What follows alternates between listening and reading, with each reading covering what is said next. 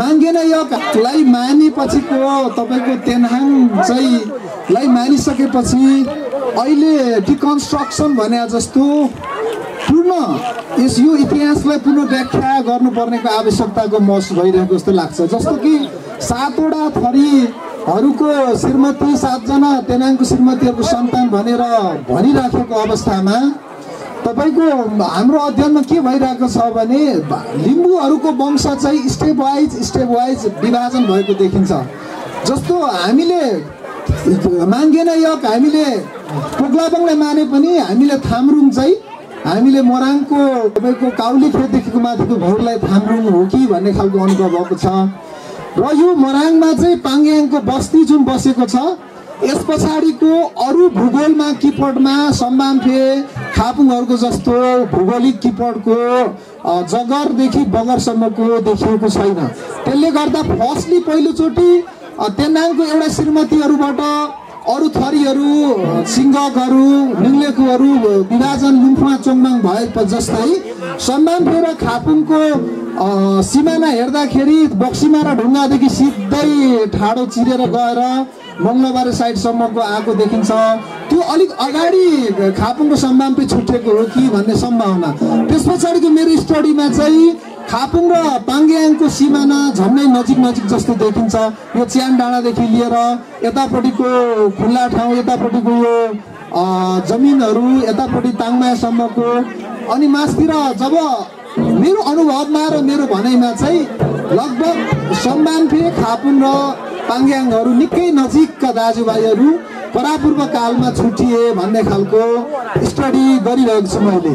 किनकि यहाँदेखि अन्य ठाउँतिर जस्तो जलजलेतिर सम्मानहरूको किपट देखिन्छ खापुङहरूको देखिन्छ त्यो अलिक अगाडि छुटिएको हो कि भन्ने अनुभव।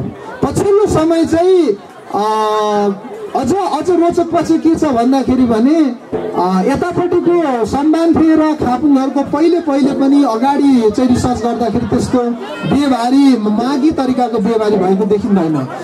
चोरी विवाहहरू भएको छ। पछि पाङ्ग्याङहरूसँग पनि केही चोरी विवाहहरू भएको हुनाले तर यो यसको अर्थ यो होइन कि हाम्रो मिङ्सा छुट्टिँदाखेरि एक प्रकारले हामी पछिल्लो समयको दाजुभाइहरू छुट्यौँ। अब यसैले अन्दाज गर्दा नेम्बाङहरू चाहिँ तपाईँको नेम्बाङ थरभित्र तिनवटा थरीहरू छन्। उनीहरू तिनवटा थरीको पनि अहिलेसम्म बेबारी चाहिँ चलिरहेको छ। जस्तो आङ्देम र लाउतीहरू एउटै दाजुभाइ मान्छन् उनीहरूको बेबारी चल्या छैन। तुम्रो माथिको हाम्रो इङ्नामहरू बिचमा पनि पहिले पुर्खाहरू छुट्टिएको हुनाले उनीहरूको बिचमा पनि केही डिमार्केसन राखेर बेबारी चल्दैन। यद्यपि लिम्बूहरूको चाहिँ जातहरू चाहिँ कसरी छुट्टिन्थेछ भन्दाखेरि एउटा समय पुगिसकेपछि उनीहरूले एउटा दाजुभाइ भित्रमा उनीहरू छुट्टिएर आफ्नो थरहरूको निर्माण हुन्थ्यो। त्यसले गर्दाखेरि पाङ्ग्याङ थर पनि एउटा यहीँको भूमिपुत्र।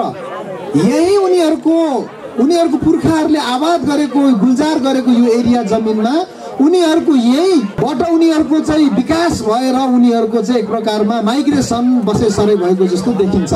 जस्तो अगाडिको चोङबाङहरूले उनीहरूले राजराईहरूलाई उनीहरूको पुर्खा मान्छन् जस्तो यहाँनिर तपाईँको अठार सय सत्तरी साठीतिरको पेरिफेरीको यहाँको सरदारहरूको नाममा एउटा नाम चितमुखाङ मजिया भन्ने नामहरू आउँछ भेगीदारहरू जस राईहरू युदास सम्मानहरूको पुर्खा भनेर मानिन्छ तुम्याङजित राईहरूदेखि लिएर यी नामहरू थुप्रै नामहरू मन्जितहरू नामहरू आउँछ। यी नामहरूको चाहिँ आफ्नो पुर्खाहरूसँग ट्याली गरेको देखिन्छ। त्यसर्थ हामीले अझै धेरै सोध खोज गर्नु बाँकी छ। पाङ्ग्याङको बारेमा अझै पनि हामीले अध्ययन गर्नुपर्ने छ।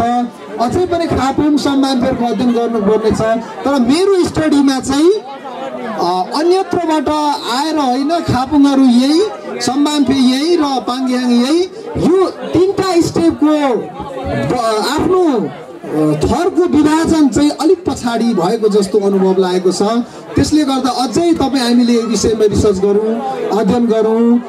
लिम्बूहरूको थरहरूको नामाकरण चाहिँ विभिन्न परिस्थितिले भूगोलको नामबाट जस्तै सिक्वादेन भनौँ यहाँ चाहिँ जसो त्यसको नामबाट सिक्देम भयो जस्तो अ, चाहिँ काभ्राको बोट मुनि बसेको हुनाले खापुङ भयो। यस कारणले गर्दा अगाडि आफ्नो थर भन्ने चलन थिएन। मजिया राई सुब्बा भनेर आफूलाई पहिचान गर्थे। पछिल्लो समय जब नागरिकताको चलन आएपछि मात्र आफ्नो थरहरू लेख्ने थालेको हुनाले अझै हामीले यो अध्ययन अझै हामीले गर्नुपर्ने हुन्छ। टिटिएम अनलाइन टिभी सब्सक्राइब गरिदिनुहोस्।